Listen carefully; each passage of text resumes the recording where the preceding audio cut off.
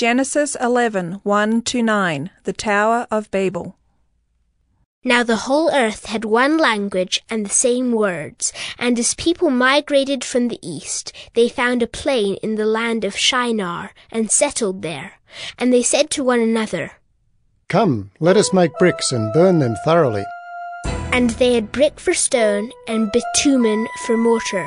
Then they said, Come, let us build ourselves a city and a tower with its top in the heavens, and let us make a name for ourselves, lest we be dispersed over the face of the whole earth.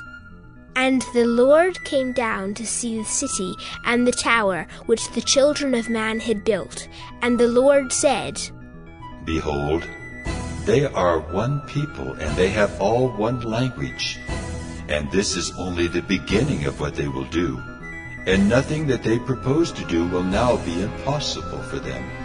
Come, let us go down and there confuse their language, so that they may not understand one another's speech. So the Lord dispersed them from there over the face of all the earth, and they left off building the city. Therefore its name was called Babel, because there the Lord confused the language of all the earth. And from there the Lord dispersed them over the face of all the earth.